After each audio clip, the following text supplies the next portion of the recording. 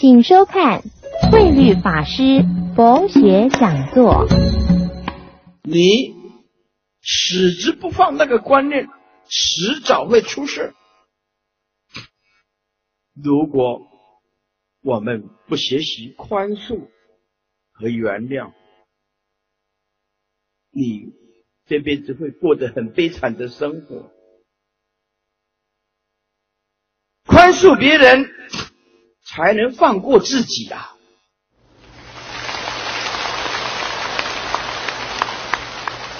宽恕别人不是为了别人来回馈我呀？你对我好一点，我宽恕你，不对的。宽恕别人，才能放过自己呀。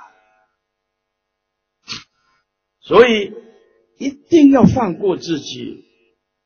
佛陀说。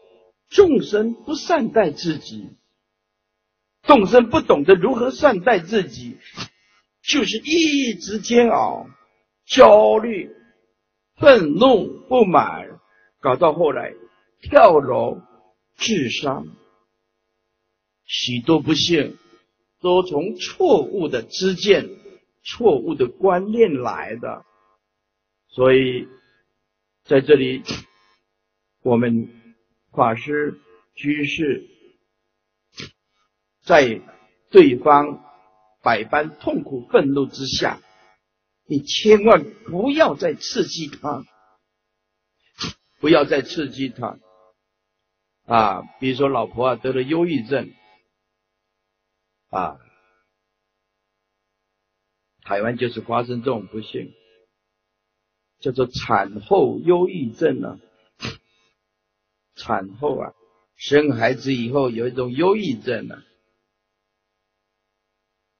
她暴怒，开始攻击老公，有暴力的倾向，要不然就哭泣，莫名其妙的哭泣，要不然就讲电话，因为她得到重度忧郁症，一讲起电话来，电话快烧掉了。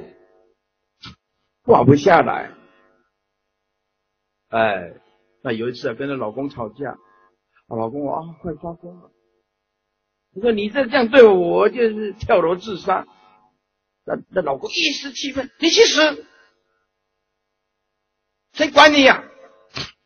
我也快发疯了，是不是？